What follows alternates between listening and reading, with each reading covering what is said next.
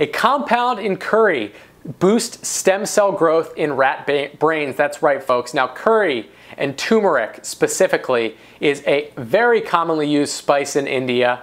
It's also used in other areas in Asia, but coming more into prominence in the United States more recently.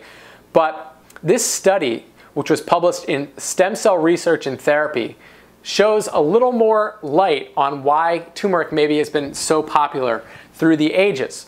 So the herb is Curcuma longa or turmeric, and it contains two major bioactive compounds. Now there has been a ton, a ton of research and is generally shown for the one compound, curcumin, that it is very helpful. Over 1,700 papers have been written on it. And it also crosses our brain's protective shield, the blood blood-brain barrier and it plays neuroprotective roles in certain neurological disorders, including Parkinson's disease. So that's really important, but we have not done a lot of research on the aromatic, aromatic R-turmera. Now, it has been generally neglected by scientists.